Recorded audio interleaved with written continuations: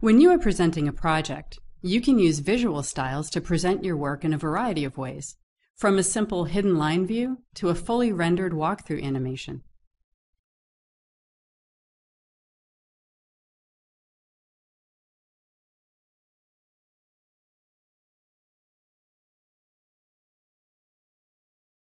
Use the Sketchy Lines display option to give the line work in a view a hand-sketched appearance. The Sketchy Lines display is a view-specific setting.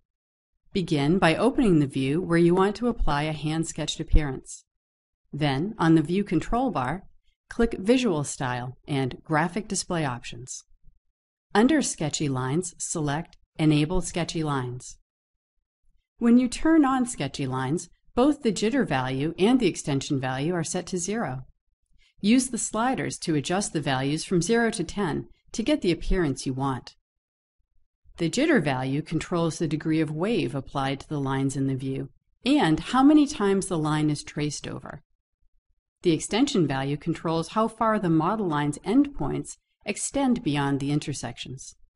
Click Apply to see the results of your changes without having to close the dialog. When you apply sketchy lines in a view, all lines will have a hand-sketched appearance except datums, which include grid lines, level lines, and view marks. Similarly, annotations such as text and dimensions are not affected when you apply sketchy lines. Notice that the trees in the view are less affected than the model lines by the jitter we applied. When line segments are short or curved, as in the case of the lines that form the trees, the jitter effect will be minimal. You can further modify the sketchy line appearance in a view by choosing to smooth edges with anti-aliasing.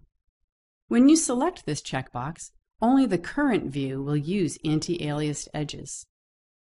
If you want to apply anti-aliasing to all views in the project, open the Options dialog from the Application menu. Then, on the Graphics tab, click Use for all views. Use this setting judiciously, as it can negatively affect overall project performance. You can also include sketchy line settings in view templates to apply sketchy lines to multiple views automatically. Managing display options in view templates can help you maintain consistency across multiple views in a presentation.